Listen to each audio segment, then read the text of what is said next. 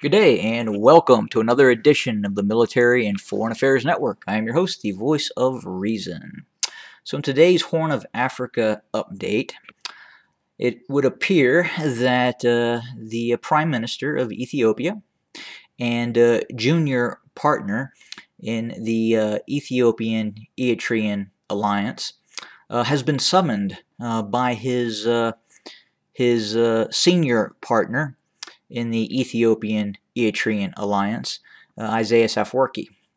And uh, the junior partner, Abiy Ahmed, uh, is currently in uh, Asmara, uh, Eritrea, uh, discussing a range of issues.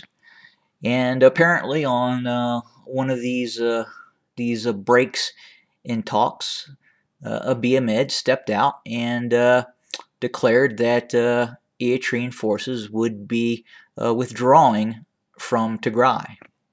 Now, is what Abiy Ahmed really meant to say is that Eritrean soldiers would be swapping out their uniforms for Ethiopian uh, army uh, battle dress uniforms. Or it could be that uh, Ethiopian army soldiers are, in, in, in fact, swapping out their uniforms for Eritrean battle dress uniforms.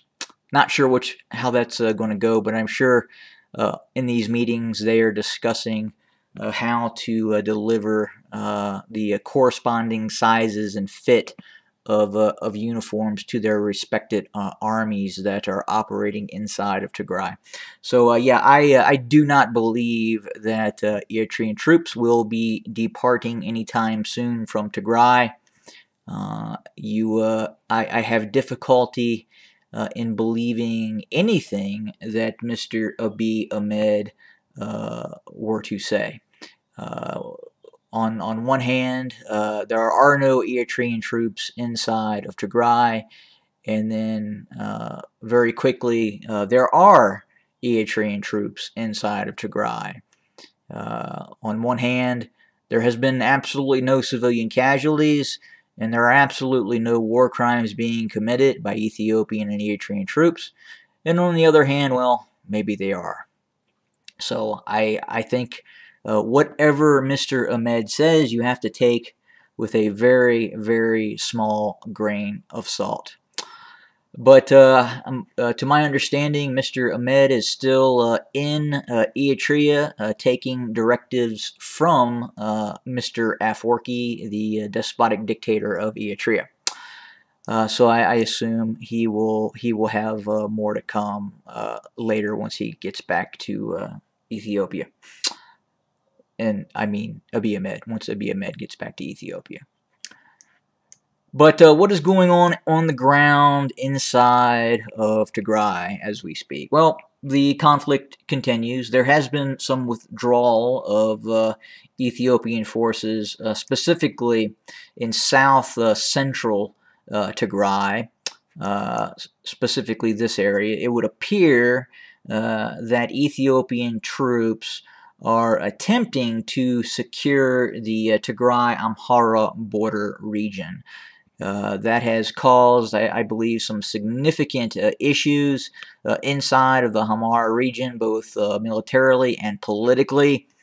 Uh, so it would be in the Ethiopian army's best interest to secure these border areas to not allow or to disallow the TDF free movement from the Tigray region into Amhara to conduct uh, deep penetration raids. Uh, but uh, will that actually be able to prevent uh, that sort of activity? Uh, I'm not sure at this point, but it would appear that it has weakened the situation a bit near Gijit. this town, and it would appear that the TDF is now in control of of this area as we speak. And again, I, I believe that is uh, uh, because uh, Ethiopian troops have pulled back to uh, to secure the actual border and not allow these raids by the uh, TDF. But uh, the fighting continues.